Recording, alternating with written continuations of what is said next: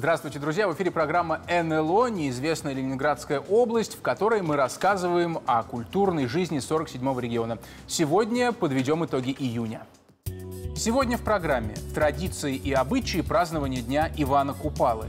Народный фольклор в литографиях художника Татьяны Козьминой. Премьера спектакля «Человек из машины» в Театре на Васильевском. Тайны форта «Красная горка».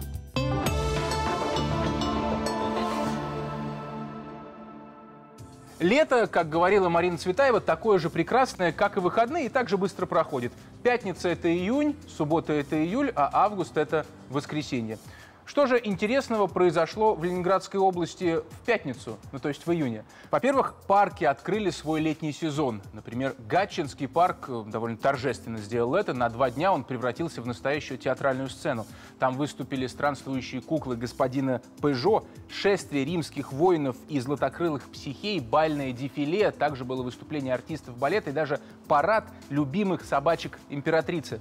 Сложно, правда, понять, как собаки дожили до наших дней. Но, впрочем, подробности у нашего корреспондента, которая побывала в Гатчине.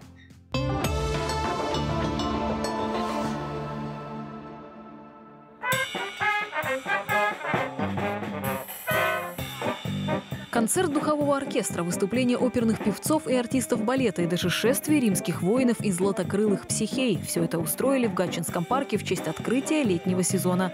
Газоны и лужайки превратились в маленькие зеленые сцены, а экскурсоводы – во фрейлин Екатерины Великой. Мы приветствуем дорогих гостей в Дворцовом парке и э, в честь открытия паркового сезона проводим тематические экскурсии, рассказывали о младшей дочери Павла Петровича и Марии Федоровны, Анне Павловне на цветочной Красной Горки. И показываем также, какие развлечения ждут дорогих гостей в разных уголках нашего Дворцового парка. Праздник посвящен эпохе барокко и временам Екатерины II и Павла I, периоду расцвета жизни дворца, когда здесь проходили пышные балы и приемы. Научиться танцевать минуэт или котильон мог каждый, кто не постеснялся превратиться из зрителя в активного участника праздника. Правая рука, левая рука.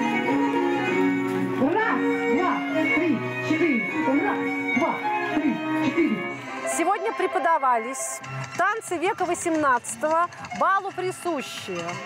Бал по традиции открывается полонезом, продолжается минуэтом или вальсом, завершается котильоном. Сии танцы прошли мы сегодня с досточтимой публикой, не случайно, но к нашей великой радости почтивший парк своим высочайшим присутствием. Парковые постройки и старые деревья, возможно, уже слышали произведения Бортнянского, Березовского и других русских композиторов эпохи барокко. Ведь устройство музыкальных и театральных вечеров было популярно и при первых хозяевах дворца.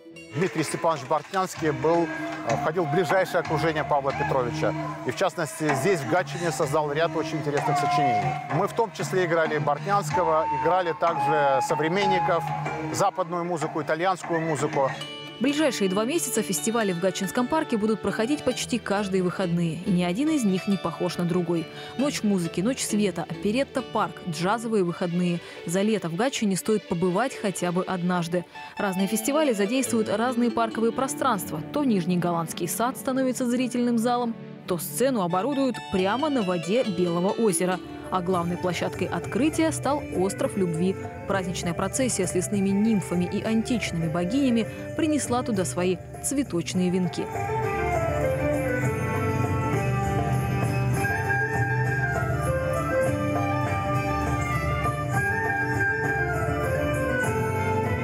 Делали античную зарисовку. Она уникальна тем, что создавалась э, в нашей фантазии по фрескам, э, гравюрам, которые дошли до наших дней. То есть это повороты головы, рук. Вот. Мы все старались максимально правдоподобно считывать, чтобы зритель погрузился в атмосферу. Следующий масштабный праздник в парке намечен на 7 июля. Это Ночь музыки в Гатчине. Оркестр Михайловского театра и оркестр Северная симфония сыграют классику в романтической ночной тишине.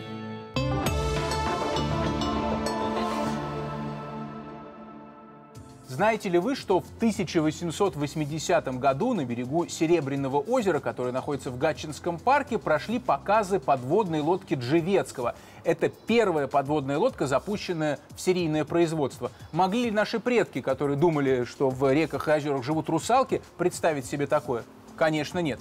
А вот еще одна история. В день Ивана Купалы, традиционный народный праздник, посвященный самой короткой ночи в году, обязательны купания. По народным поверьям, вода может подружиться с огнем в эту ночь, поэтому на берегах рек разводятся костры.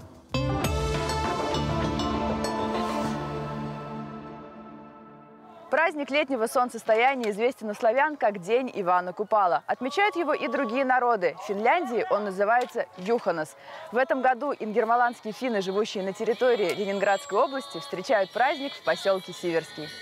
На юбилейном 30-м Юханусе собралось много гостей. Финно-угорские коллективы приехали сюда со всей Ленинградской области. С утра и до позднего вечера на Лялином лугу звучали и финские, и шведские народные песни. Проходили мастер-классы по плетению венков, созданию оберегов. Отдельная площадка была выделена под спортивные игры и соревнования. Финская забава – метание резиновых сапог – очень полюбилась всем гостям. Его еще в Финляндии называют «Летнее Рождество», этот праздник. Изначально еще из языческих времен не спали люди всю ночь. В этот день вся нечисть выходили на землю, и люди жгли костры. Поэтому пошла традиция сжечь костер всю ночь э, под названием «Кокко» – костер. С пришествием христианства на нашей земле э, этот праздник стал именоваться как Иванов день. В Финляндии государственных праздников гораздо меньше, чем в России. Юханус считается одним из самых важных. На три дня свою работу прекращают музеи, рестораны и другие общественные заведения. В Финляндии, так же как и перед Рождеством, все люди э, уезжают из городов на природу, э, локально справляют эти праздники во всех приходах, э, закрываются магазины, пустеют города, и все стараются находиться именно на природе. Отличий между славянским Иваном Купалой и финским Юханусом практически нет. Оба праздника отмечаются у реки. Считается, что с этого дня из воды выходят злые духи, и она приобретает целебную магическую силу. В этот день поют песни и водят хороводы. Принято гадать на суженого, совершать различные обряды с помощью огня, воды и трав. Обязательным ритуальным предметом считается купальский венок, который плетется из свежих цветов до зажигания костра. Люди в зависимости от желаемого результата соблюдают много правил. Определенное количество растений, их виды, время плетения и, конечно, заговор. Несмотря на значимость Юханаса у и его прямую связь с природой, свои дома они в этот день никак не украшают. В принципе, все финны, они изначально считают себя очень э, близкими природе. И поэтому что-то там, украшение, ломание веток, украшение домов живыми деревьями, это не присуще нам, а, потому что очень бережем природу. Кульминация праздника начинается после захода солнца. Костры на Юханас обычно разводят или на вершине холма, или около воды. Для этого используют большие доски, бочки и даже деревянные лодки. По традиции в этот магический день всегда разжигают костер, а после водят вокруг него хоровод. Считается, что чем выше пламя такого костра, тем лучше. Стараются даже поддерживать огонь до самого утра. Считается, что именно в таком костре сжигаются все невзгоды, болезни и недуги.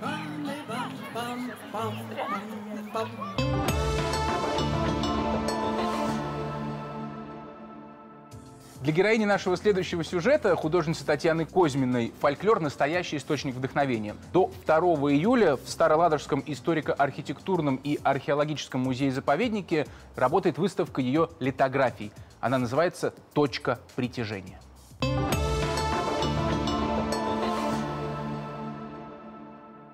В Старой Ладоге по адресу Музейный переулок, дом 2 живет удивительный человек, большой художник Татьяна Андреевна Козьмина.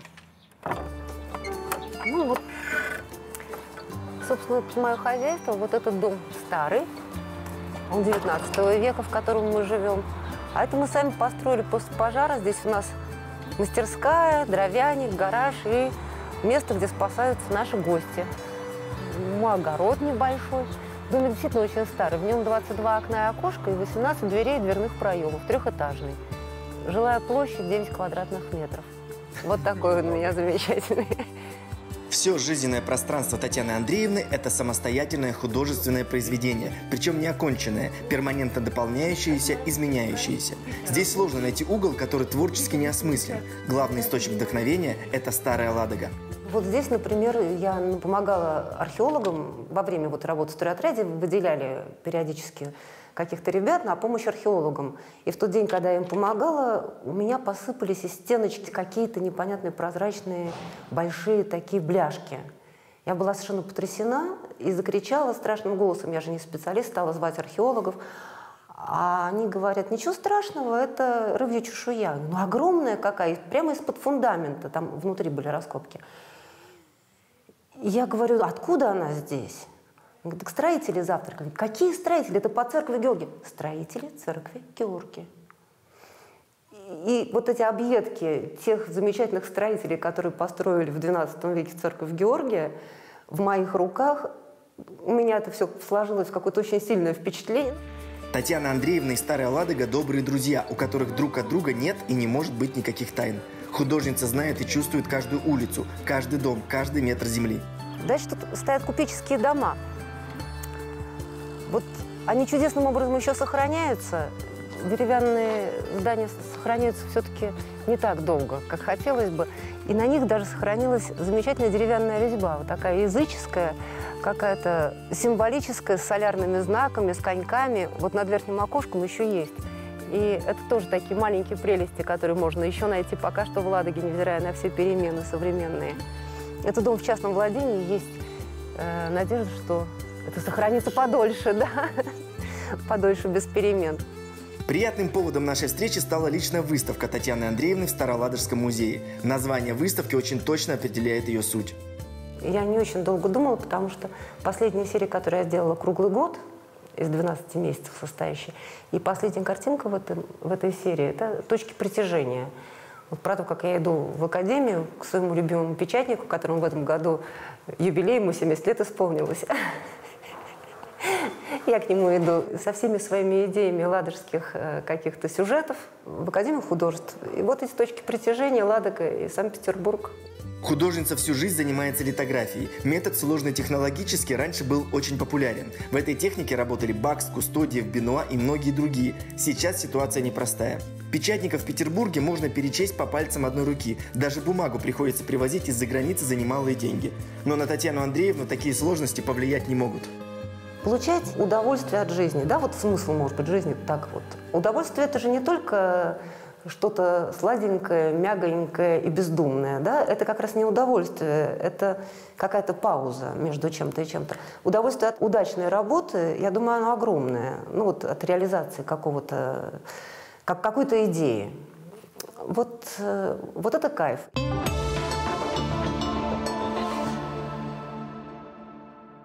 Продолжаем программу рассказом о премьере в театре на Васильевском. «Человек из машины» – так называется спектакль, поставленный по пьесе «Хуманитас инжиниринг». Представьте себе недалекое будущее, и, используя достижения биоинженерии, некая компания готова изготовить идеального партнера по заданным параметрам. Можно выбрать размер ноги, характер, внешность и даже то, насколько обидчивым будет этот человек.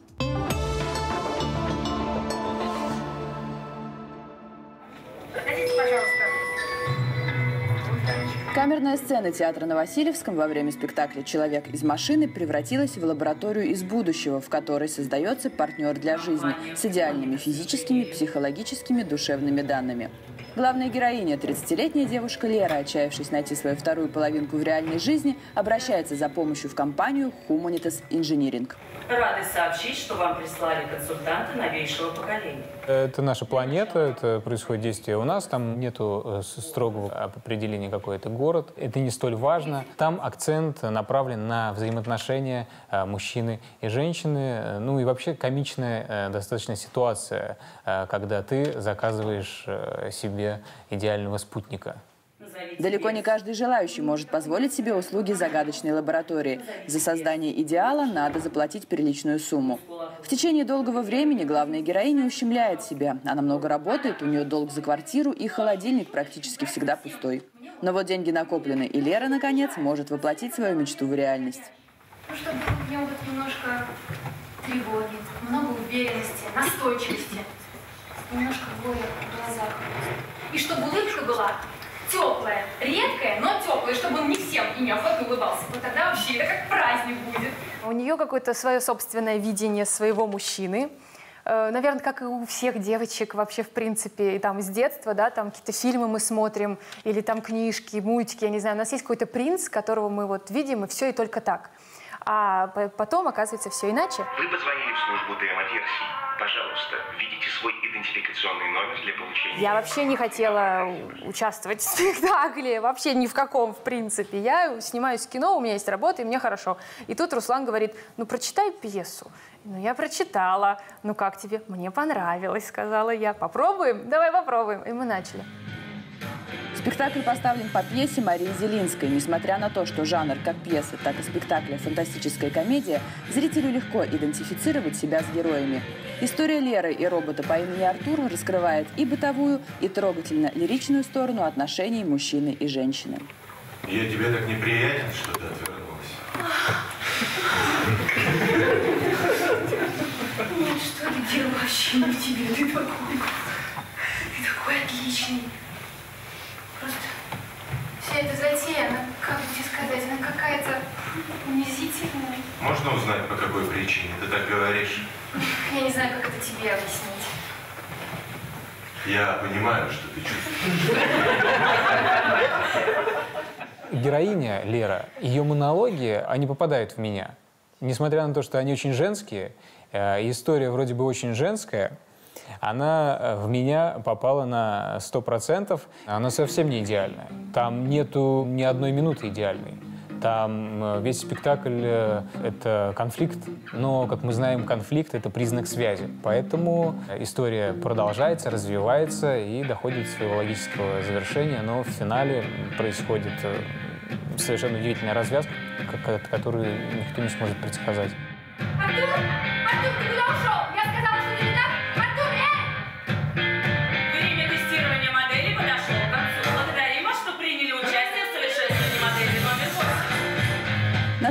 Минимум декораций, серебряный диван попеременно превращается то в гарнитур из квартиры Леры, то в необычный предмет мебели из лаборатории. Световое решение спектакля очень интересное. С помощью такого хода удается создать фантастичную атмосферу офиса компании Humanitas Engineering, чей слоган «Создай свой идеал» – главная интрига пьесы. Мы не можем э, создать свой идеал, потому что не знаем э, самих себя. Сегодня мы хотим, чтобы было так, а когда мы это получаем, нас это не устраивает. Поэтому очень важно прислушаться э, к самому себе и понять э, себя, и тогда, наверное, мы будем более э, терпимы к э, людям, которые находятся рядом с нами.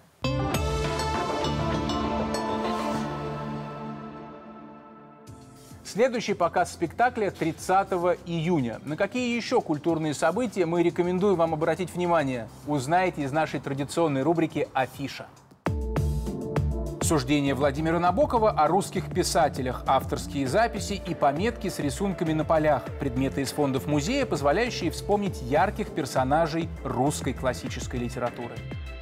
Более 30 световых арт-объектов, созданных мастерами из России, Белоруссии, Финляндии, Германии, Италии и Португалии, а также иорданский фасад Гатчинского дворца, как экран для 3D-мэппинга на традиционном ежегодном фестивале «Ночь света в Гатчине».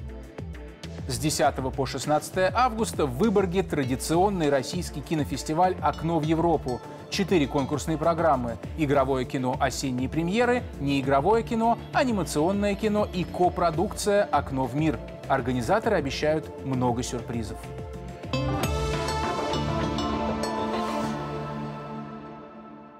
Мы продолжаем программу. Э, Вот смотрите, всякий портрет, написанный с любовью, это в сущности портрет самого художника, а не того, кто ему позировал. Так говорил Оскар Уайлд.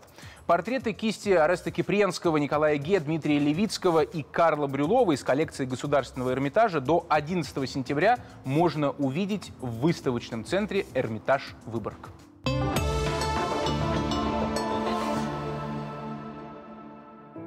Свое десятилетие выставочный центр «Эрмитаж Выборг» отметил открытием уникальной выставки. На ней представлена портретная живопись России конца 18-го, начала 20 веков. До открытия экспозиции картины находились в фондах Государственного Эрмитажа. Что касается этой выставки, мы э, очень переживали за нее. И вот почему переживали? Потому что обычно у нас и прикладное искусство, и оружие, и портреты, и так далее, и так далее, все присутствует. А здесь одни портреты. 75 портретов.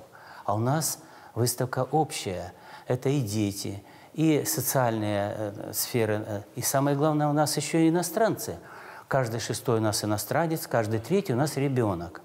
И как ребенку подать портрет, мы очень переживали. И вот когда мы открылись, и выставка у нас состоялась, и когда мы начали уже и аудиогид прим- применять, в восторге все, просто в восторге. Посетителей ждет путешествие от эпохи барокко до начала реализма. За каждым портретом кроется история личности, будь то император, дворянин, чиновник, каторжник или купец. Побывать на этой выставке практически как посмотреть много интересных кинофильмов в одном месте. Здесь около сотни исторических персонажей, и у каждого своя особенная история. Остановимся на самых ярких из них. Невозможно пройти мимо портрета княгини Натальи Голицыной, послужившей прототипом «Пиковой дамы» повести Пушкина. Именно с ней произошла история, которую услышал великий Пушкин. Однажды, будучи во Франции, графиня сильно проигралась в карты и попросила денег в долг у французского графа Сен-Жермена. Денег он ей не дал, но помог советом. Взяв с нее обещание, что она больше не сядет за карточный стол, он открыл ей выигрышную комбинацию карт – тройка, семерка, туз.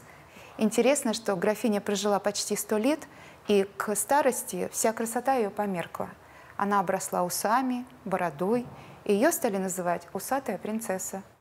На выставке можно многое узнать о привычках людей и моде того времени. Так, в эпоху сентиментализма был популярен язык цветов, пришедший в Россию с Востока. Молодые девушки, собираясь на балы, готовили заранее бутоньерки или порт-букеты. Это были просто цветы или цветы в специальном флакончике.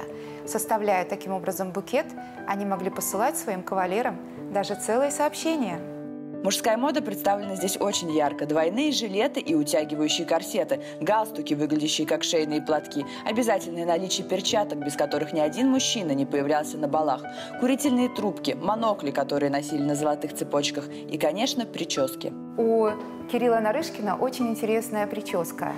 Это модная прическа того времени. Она называется «Дуновение ветра». Как будто ветер подул сзади и начесал все волосы вперед на лицо. Еще одну оригинальную прическу можно увидеть на портрете 14-летнего гусара. В дворянских семьях уже с детства записывали мальчиков в полк, но служба службой, а выглядеть хорошо должен был каждый дворянин. Такая прическа раньше называлась «тупей», от французского слова «тупей», что означает «хохолок». Самый знаменитый человек, носивший тупей, был Александр Суворов. Первые парикмахеры на Руси также назывались «тупейные художники», в XIX веке украшения жемчугом были одними из самых популярных. На женских портретах позапрошлого столетия легко найти этому подтверждение. Раньше его добывали в России в огромном количестве на северо-западных реках, в Архангельской губернии, на побережье Белого моря. Вы не поверите, но каких-то 150 лет тому назад жемчуг добывали даже в пригородах Санкт-Петербурга. И даже самая небогатая крестьянка могла позволить себе нитку жемчуга или несколько бусин на кокошник. Целый раздел на выставке посвящен провинциальным художникам. В 20-е годы прошлого века в Эрмитаж привозили картины из поместьй и особняков провинциальных городов России. У большинства работ невозможно установить авторство и личность изображенного. Зато многое могут рассказать детали. Например, если на портрете мужчина с тростью, значит перед нами очень состоятельный человек. Существовали трости-зонтики, трости-ларнеты, трости-фонарики, табакерки – а у Александра Пушкина была особая тренировочная трость. Она весила 4 килограмма, и ею он тренировал свою руку. Выставка не обошлась и без истории любви. Портрет Степаниды и Михаила Яковлевых был написан вскоре после их свадьбы. Они были владельцами Ярославской полотняной фабрики, на которой изготавливались ткани для нарядов высшего сословия. Родившие восьмерых детей и всю жизнь любившие друг друга, они умерли практически в один день. Сначала Степанида, а через неделю ее супруг. Портрет героини всем известной истории любви Ксении Блаженной представлен здесь в очень нетипичном виде. Все изображения Ксении Петербургской – это иконы, а на выставке посетители могут увидеть, как выглядела святая при жизни. Ее портрет, написанный неизвестным художником, попал в Эрмитаж в 30-е годы. Почти 90 лет он находился в запасниках. Его нашли недавно, когда систематизировали фонды. 35 полотен, представленных здесь, экспонируются впервые. Все они отреставрированы за последние 10 лет. Посетить уникальную выставку можно до 11 октября.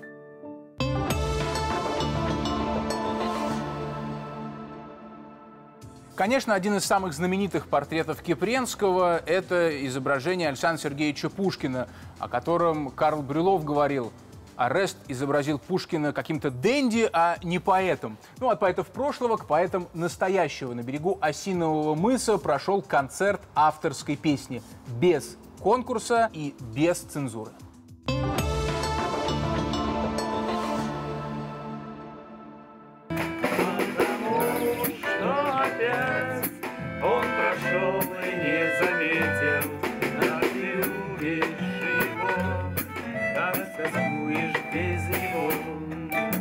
Чем поют современные барды? О том же, о чем и всегда. О любви, о чувствах, путешествиях, доме, о вечном. И, как положено, летом съезжаются на фестивали подальше от города в живописных местах. Здесь нет э, цели создать шлягер.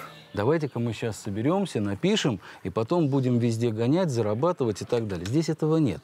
То есть здесь люди приходят, они показывают э, те песни, которые у них родились э, вот именно от души, от сердца. Дому путь дороженька далека. Фестиваль «Ингрия» в этом году отметил свой 35-летний юбилей и 40-летие клуба авторской песни, в честь которого он назван.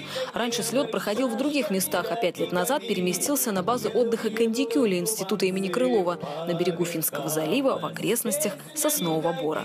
Как бы все как всегда. Надеюсь, у нас и в 39 лет, и в 41, и в 42 будет просто такой маленький праздник душевный. У нас коллектив научный, творческий, и поэтому все, что связано с творчеством, э, а наука – это творчество, мы всегда это приветствуем, это всегда стимулирует и наших сотрудников. Люди с работы в квартиры стремятся. Фестиваль славится своей доброжелательной атмосферой и отсутствием конкурса. Выступления проходят в формате открытого микрофона. Двери не прислоняться, вам прислониться. Сейчас, к сожалению, тенденция, но это как бы особенность нашего шоу-биза, да, если так можно сказать, а, что где-то что-то надо заработать для портфолио, там, получить дипломчик. Здесь такого нет. Здесь можно приехать и э, просто поделиться с людьми, с друзьями э, своими вот э, Своим настроением, песнями. настроением, да. своими песнями, да. Вода в реке от солнца светится, дрожит поземкою. Мне Участники в основном петербуржцы, хотя некоторые добираются и из Москвы, и даже из Сибири. Концертная программа длится с утра и до утра. Выступления на сцене плавно перетекают в песни у костра. Участники исполняют Высоцкого, Висбора, Акуджаву и свои собственные сочинения. Свяжу свитер, сошью кромки, в плиту в нити, рассвет звонкий, в плиту осень, цветы лето. Меня спросят, зачем это купить проще, проблем меньше, и так много их у женщин. А Я начала писать, когда началась перестройка. Потому что мы с друзьями собирались в складчину, у кого что дома было. Действительно были у нас как-то тяжелые времена. Я не умею писать песни на заданную тему. Я как подарок, просто вот написала песню, я ее приносила как подарок вот своим друзьям. В этом году на Ингрии собралось больше 200 участников, которым, кстати, очень повезло с погодой. Она добавила фестивалю еще больше тепла и солнечного настроения. Это значит снова турслет. Будем, значит, петь до утра.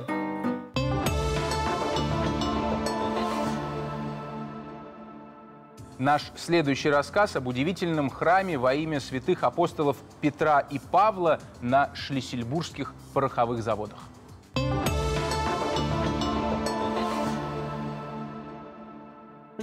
Храм Петра и Павла в поселке имени Морозова единственный. На небольшой территории четыре маленьких здания. Сама церковь, построенная на месте белокаменной предшественницы, разрушенной в войну.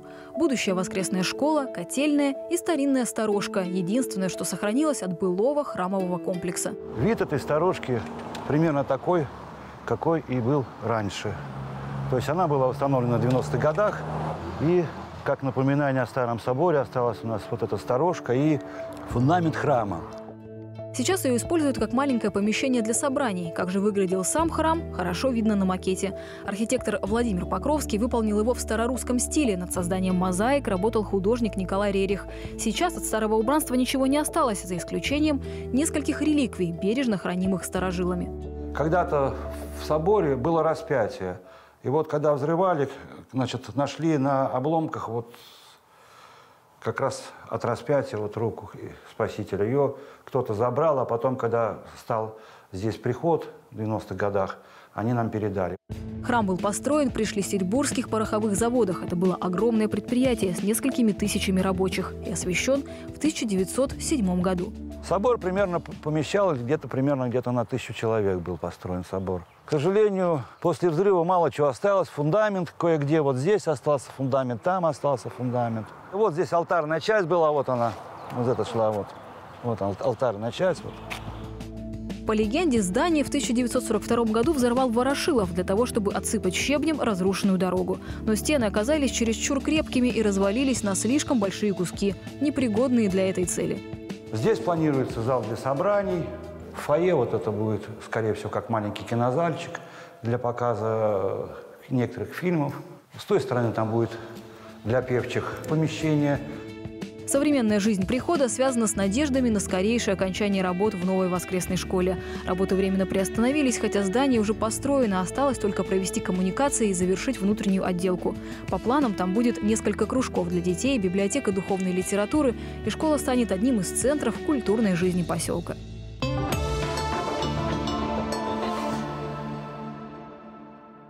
Огромная подводная ступень, ведущая в Нептуновы владения. Там стынет Скандинавия, как тень, вся в ослепительном одном видении. Это Анна Ахматова писала о парке Монрепо в Выборге. Объекту культурного наследия посвящена выставка в музее усадьбы Рождественно.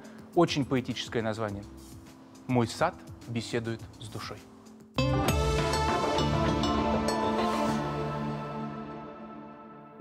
В парадном зале усадьбы Рождественно раньше проходили балы. Теперь музыкальные вечера и выставки. До 27 июня здесь были выставлены работы, рассказывающие о парке Монрепо и его создателе Людвиге Генрихе Николаи. Это уже не первый проект сотрудничества музея усадьбы Рождественно и музея-заповедника парк Монрепо. Совместная работа помогает этим художественным пространствам делиться информацией с более широкой аудиторией. Выставка включает в себя две составляющих. То есть э, перед нами исторические материалы, основанные на а, документах, портретах, а, научных работах.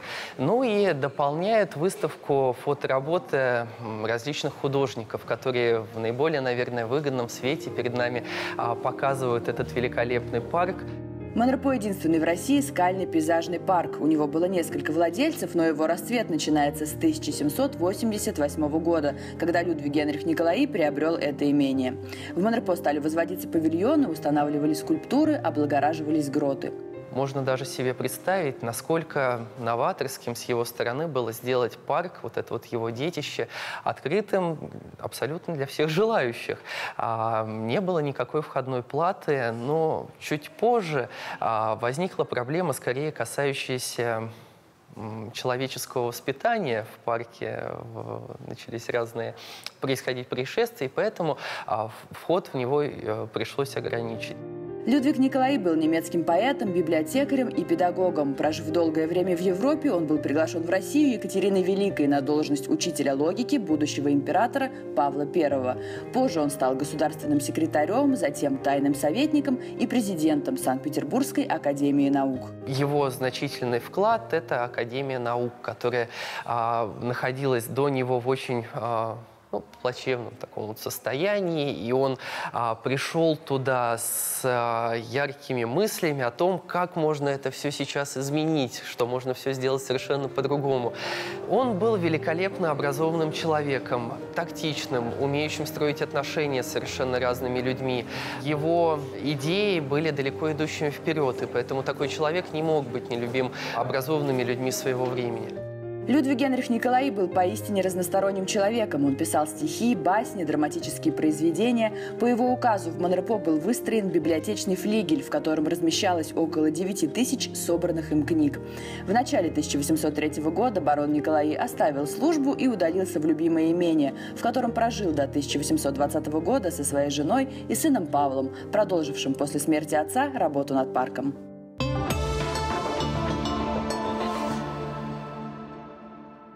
Выставка в Рождественную уже закрылась, в парке Монрепо идут реставрационные работы, но можно уже увидеть сейчас обновленный храм Нептуна. Кстати, об этом расскажем вам в августе. А следующий наш сюжет для любителей прогулок и военной истории.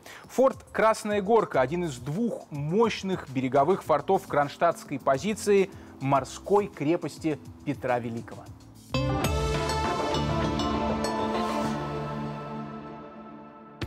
Поездка в форт Красная Горка – настоящий праздник для любителей заброшенных зданий, заросших травой железных дорог, военных орудий, которые можно потрогать руками, и просто красивых видов на залив. Фортификационное сооружение располагается на довольно обширной территории недалеко от поселка Лебяжье. Оно было построено еще при Николае II, и не только по тем временам. Многие десятилетия спустя оставалось ультрасовременным и абсолютно неприступным. В восточной части Финского залива это самое узкое место.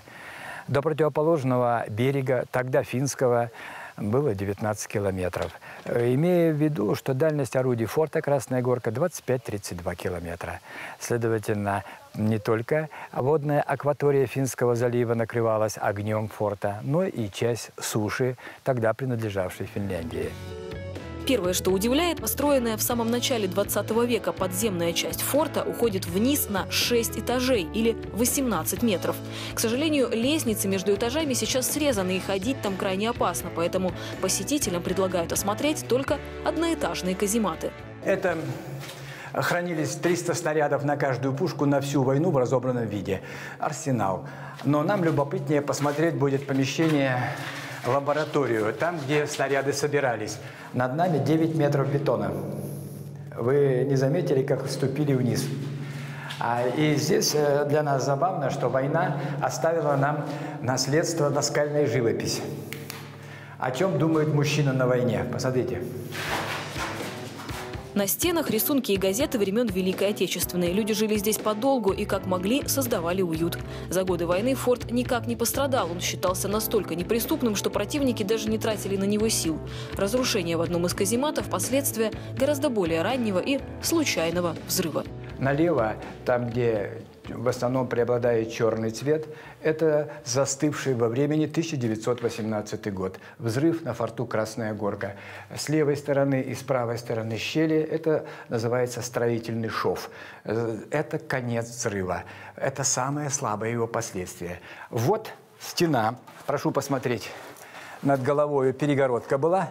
Вот она лежит перегородка. Чтобы увидеть впереди взорванные казематы, это надо повторить за мной путь. А над головой трехгранные рельсы. Вот на нем тележечка застывшая. Это подача снарядов. Мы находимся в снарядном погребе. Э, Снаряд подвешивался к этой тележке, застывшей во времени, и толкался вперед в окно, находящееся за вашей спиной. Найденный под завалами снарядный подъемник царских времен теперь хранится в музее.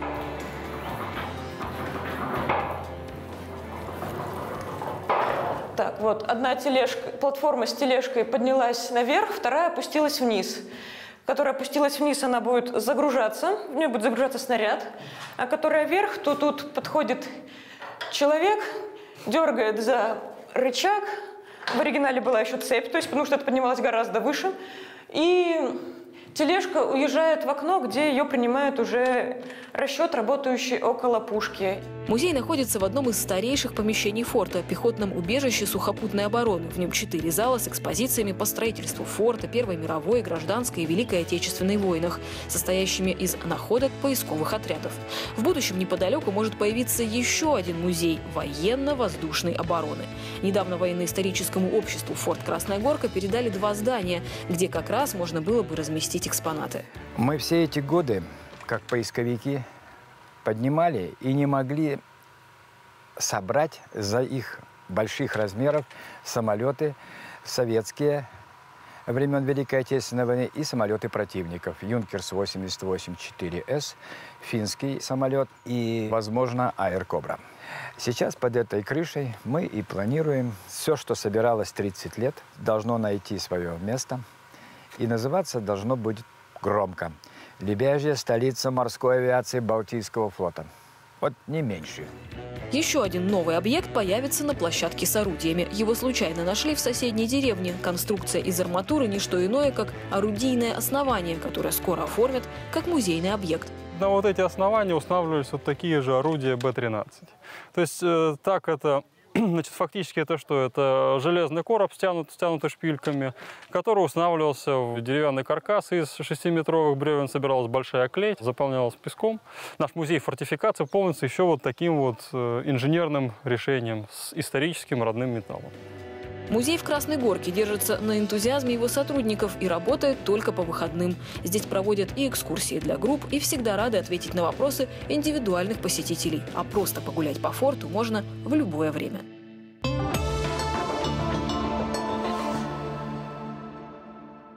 На этом мы заканчиваем сегодняшнюю программу. Наша следующая встреча 16 августа уже в новом сезоне. По-прежнему работает адрес электронной почты, так что напишите нам письмо, как я провел лето. Ну а мы прочитаем.